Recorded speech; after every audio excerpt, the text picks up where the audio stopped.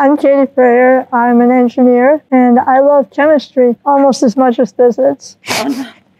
I had the opportunity to sit down with Katie to discuss her experiences as a person with disabilities in STEM and her experiences in school, work, and life. I met Katie back in 2016 as she's a close friend of my oldest child and they attended college together. I grew up in DeWitt, Michigan. I was born with a disability called arthrogryposis, which basically means my muscles didn't form correctly around my joints. It's a little bit of muscle, a little bit of bone, I don't have full range of motion and I have what are called contractures. So my joints cannot straighten fully. It's not degenerative. It doesn't technically get worse, but it's really hard to build and maintain muscle without a lot of intentional work involved. Arthrogryposis is a condition characterized by multiple joint contractures present at birth.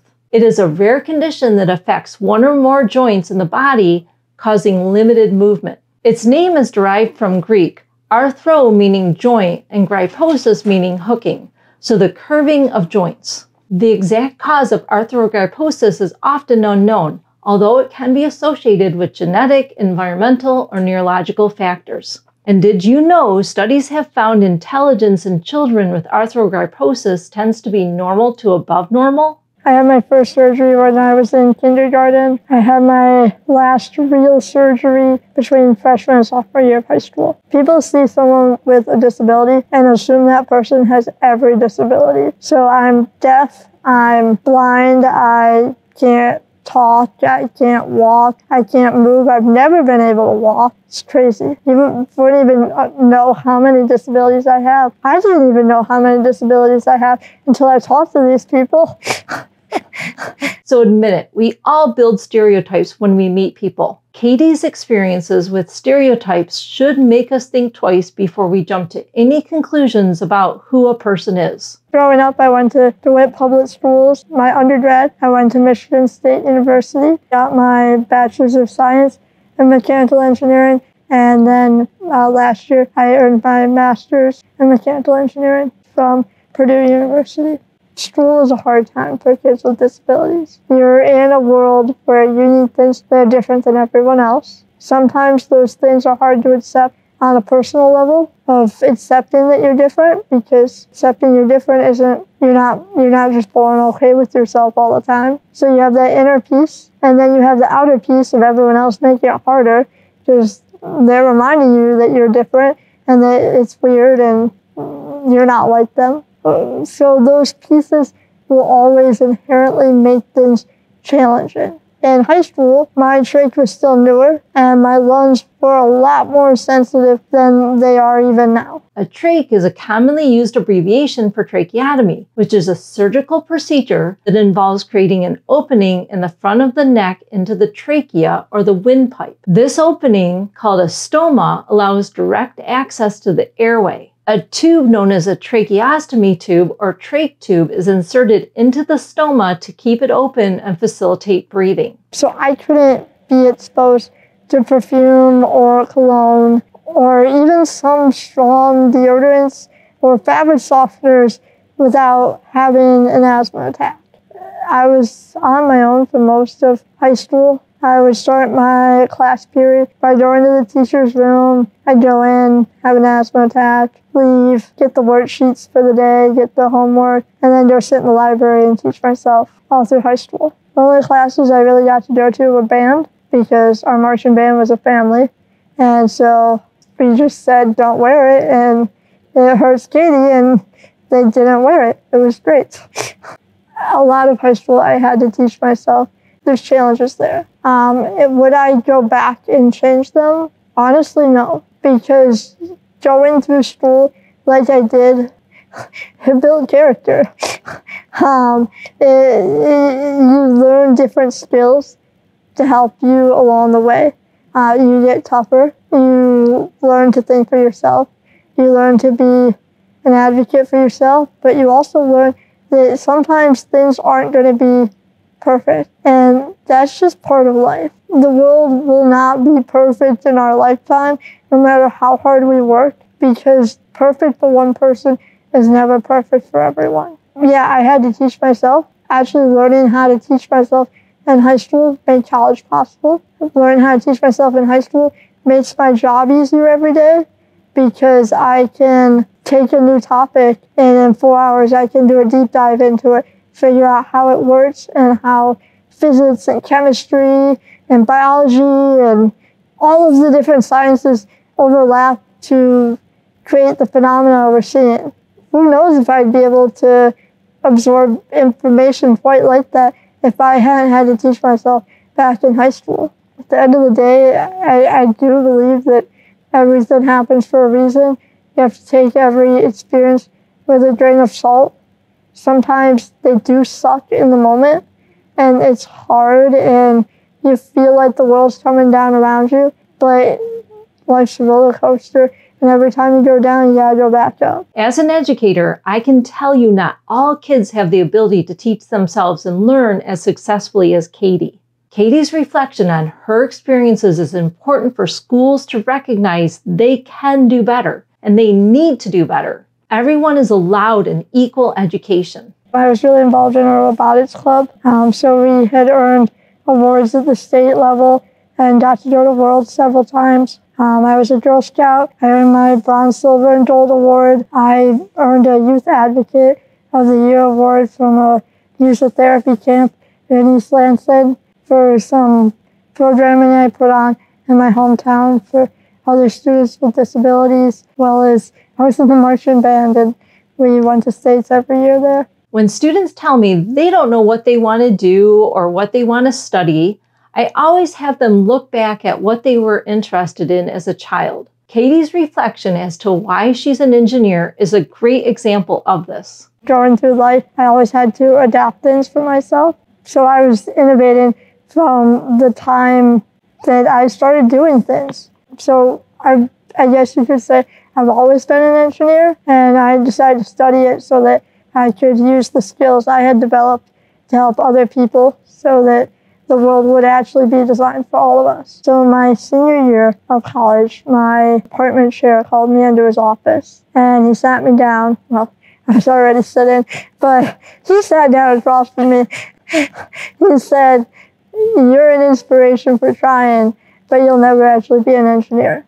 Most people, you know, that would just destroy them. I think it did kind of throw me for a loop for a while, but you know, you just try to pick yourself up, dust yourself off, rely on family and friends to help you do it when people are like that. But knowing your own value, knowing, you know what, no, I am going to be an engineer. I might not be the, cookie cutter engineer that you're picturing, but I know I have value. I know I can bring this to the workforce and just having that resolve, knowing the reason you're doing something, knowing that why, it really helps keep you moving forward. Okay, I'm going to say right now that professor is a. Step one is never question someone's belonging. Everyone has a place where they are, whether they had to earn their way there or they're there because it's public school and everyone's there. They're where they're supposed to be. Um, so take each student like they're a student because they are.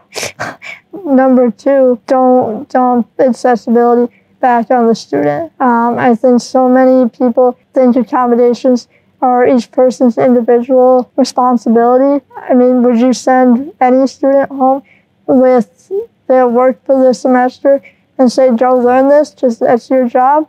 No, because you're the teacher, you're the professor, that's why you're there. Likewise, if a student can't learn the same way, maybe how they learn will help someone else in the class too. Of course, there's 27 kids in the classroom and you can't always talk to each person on each on their level every second of every moment. But as long as you make sure that no one is completely lost, you're helping them move forward. Three, accepting that things will never be perfect is a really good first step. Things will never be perfect. There will always be hard challenges. There will always be things to face. And even if someone sees you putting in the effort, that goes such a long way. I had a chemistry lab And I was really lucky to have a really great lab team there. The professor that was in charge of the labs understood that sometimes I have chemical sensitivities. Sometimes it's hard for me to interact with things. So he worked really hard to set me up on a GoPro in the lab. It was never a question of, can she do this? It was,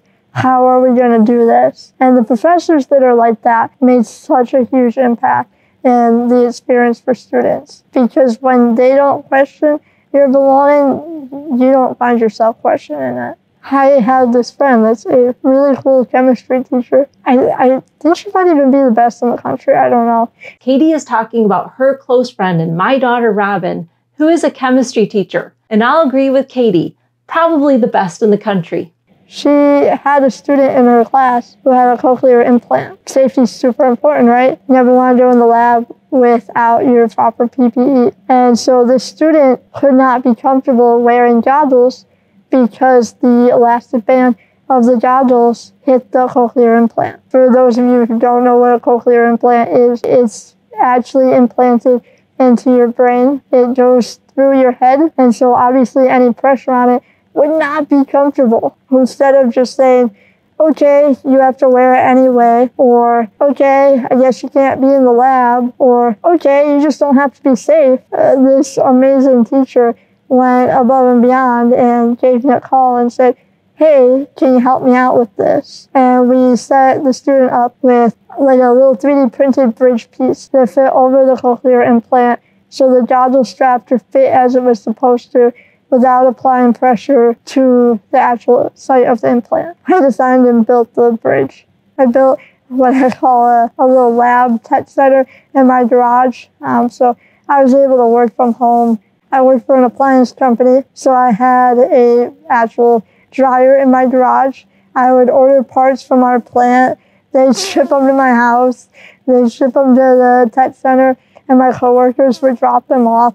So every day I'm getting you know, crates and boxes of parts and putting together prototypes. I have some 3D printers set up out there. So I can pretty much do anything I need to do to make things look right from my house. My employer is incredible. I was in a new office space. The bathroom didn't really fit my chair, uh, but it was legally compliant. I wasn't gonna speak up because they really didn't have to do anything my coworkers noticed me going across the parking lot to my old building every day at lunch to and realized it was pretty regular on a schedule. And they're like, Are you going over to use the bathroom? And I was like, Maybe. Why? and they're like, Why are you? And I'm like, Well, my chair doesn't fit. And they're like, But we're compliant. And I'm like, Yes, but that doesn't always mean it's perfect. And within two days, well, later that afternoon, they had the interior designer there. Within two days, they were starting construction to modify the bathroom closest to my desk and a second bathroom in the building. And they renovated a bathroom for me. Good job, Whirlpool. You're definitely a leading example to listening to the accessibility needs of your employees and not just leaving it at, we are compliant. I feel seen in the ways of the weird stares. You know, the weird looks people give me. You know, you're going down the street and that mother pulls her child out of the way because even though you're still like 20 feet away, she thinks you're going to run over them.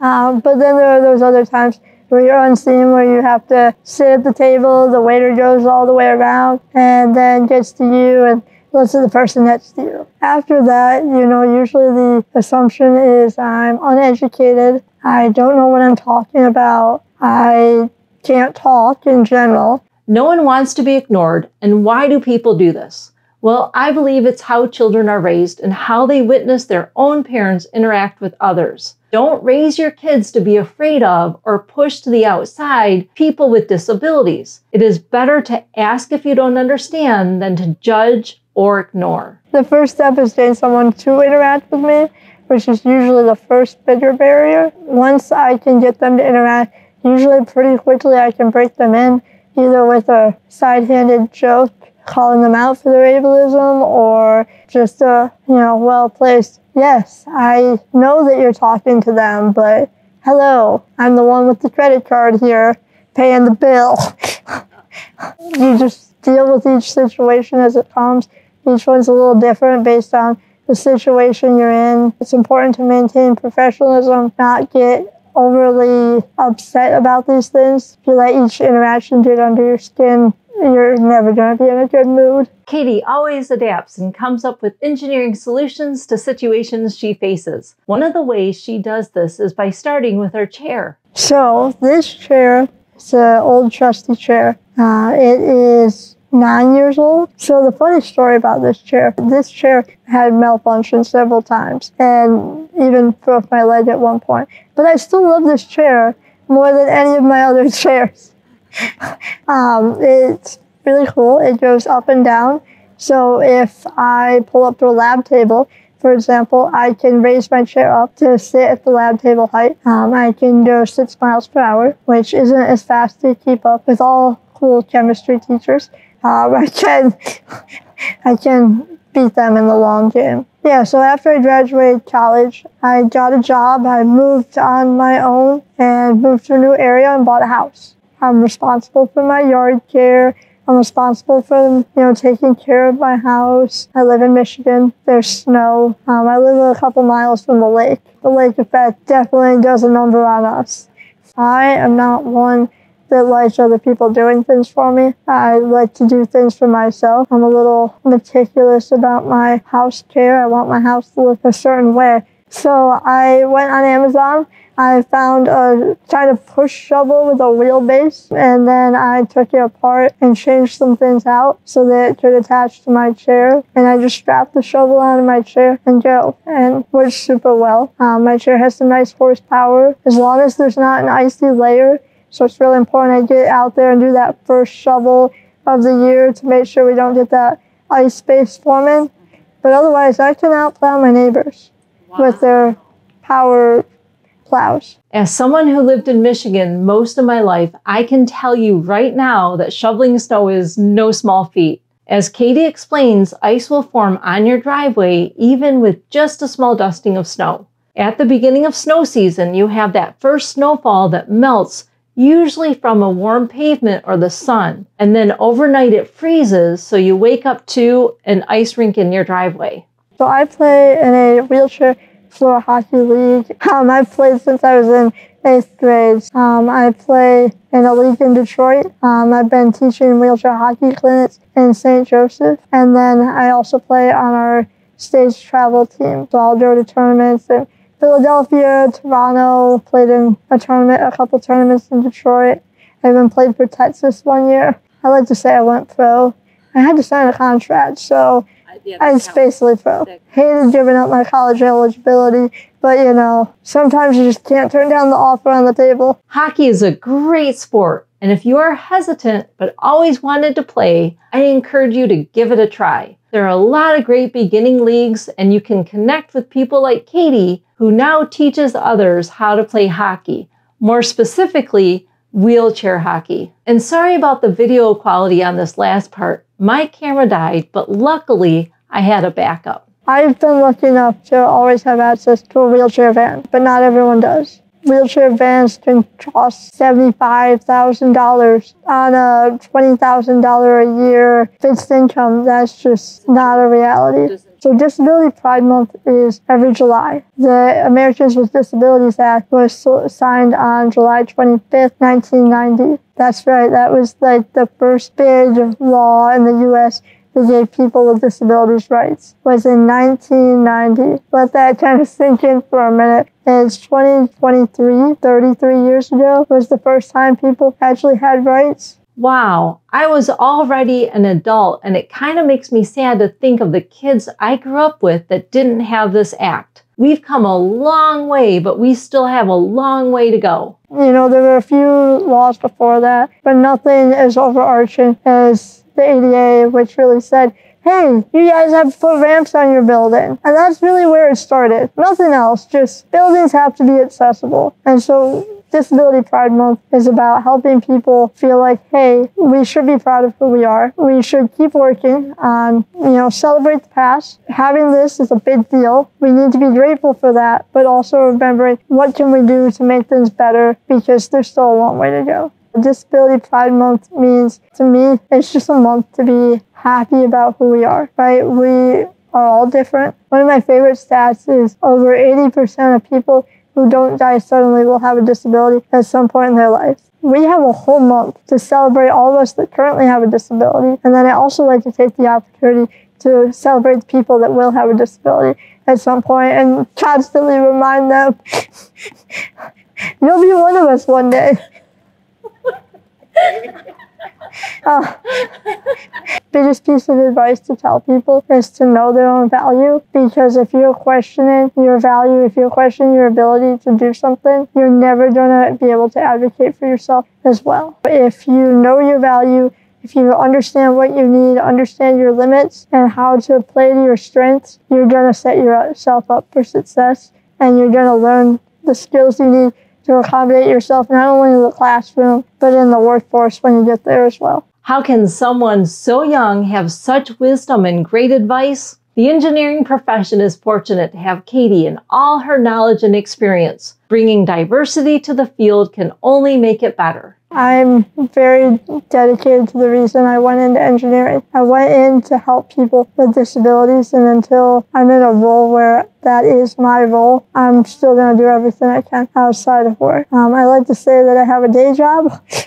And then what I really love to do in the evenings, I float around in many Facebook groups. And if people need help, I do what I can to help them. Friends reach out if they have students in their class that need accommodations or things to help their students succeed. And I try and help them out. Anything I can do to make someone else's life a little easier, I try and do everything I can to do that. Thank you, Katie, for taking the time to share so much of your experience and happy Disability Pride Month.